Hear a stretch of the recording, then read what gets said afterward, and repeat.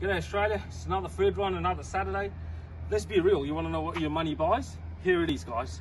It's pretty much self-explanatory, but I'll focus on the meat pack today. About three and a half to four kilos over here. Red and white variety, minced or cut in pieces to suit different culinary tastes. Special thank you to Rodney, the owner of Cahill's Fresh Meats in Bankstown.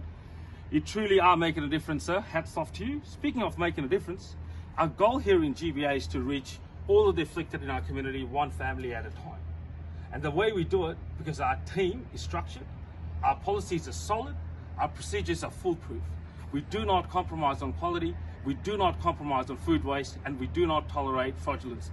Let's face it, our resources are limited. We have to utilize it to the T, and we make sure it reaches the right people. So your money's real, Australia.